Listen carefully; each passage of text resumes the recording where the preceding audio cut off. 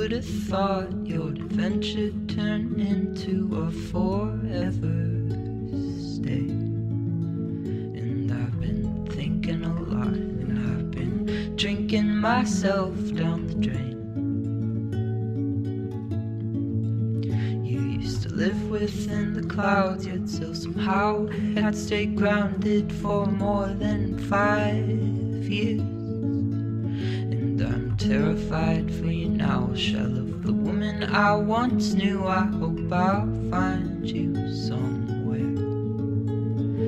Not today. Not today. Not today.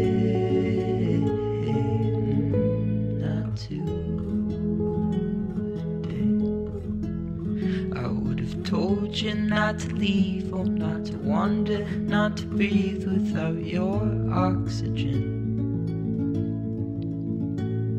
But what if ifs cannot bring you back? And truth is, I'm having a bit of trouble breathing in myself.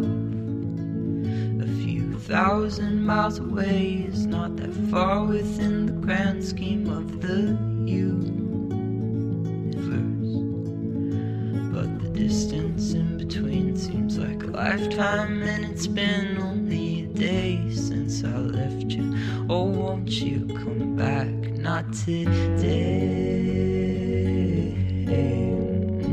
Not today.